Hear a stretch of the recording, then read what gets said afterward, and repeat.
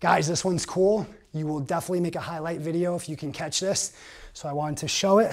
It's a standing cradle. So I'm getting to that same position.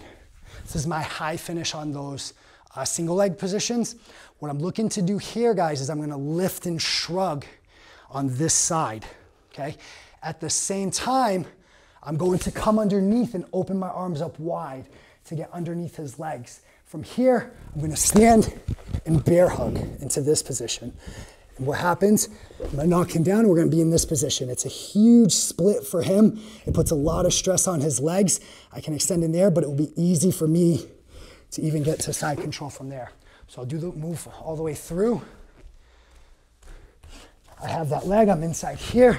I lift this up, I'm keeping him away from me. Pop underneath, boom, right inside here. If you guys pancake on somebody, it will knock the wind from them in that sense. It's a great move. It's called the standing cradle, so you guys can see it from the back view. Right inside here, I get out, I'm lifting and coming underneath.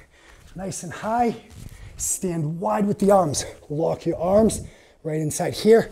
Step into them. It's okay if you're in between the legs because you have this arm stuck.